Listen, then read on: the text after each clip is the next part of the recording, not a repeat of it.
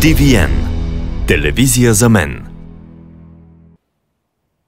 За втори път общинските съветници дадоха съгласие общината да започне процедура по избор на концесионер на плувния комплекс в парка на младеща. Преди време всички такси за анализите, свързани с концесията, са били платени. Сега те отново трябва да излязат от бюджета, само защото са извадени 4 атракциона, коментираха съветници. Идеята на общината е да избере фирма, която да стопанисва за по-дълго време комплекса, в който са нужни значителни вложения за подобряване. Основният проблем е с така наречения голям басейн с кулата за скокове във вода, който е пропукан. В него от две години има теч, който подкопава ската. Планира се концесионерът да пусне отново детския басейн с атракцион. Комплексът ще включва и малкия заводна топка. Видео новините в Русе Нюс. Благодарение на TVN. Телевизия за мен.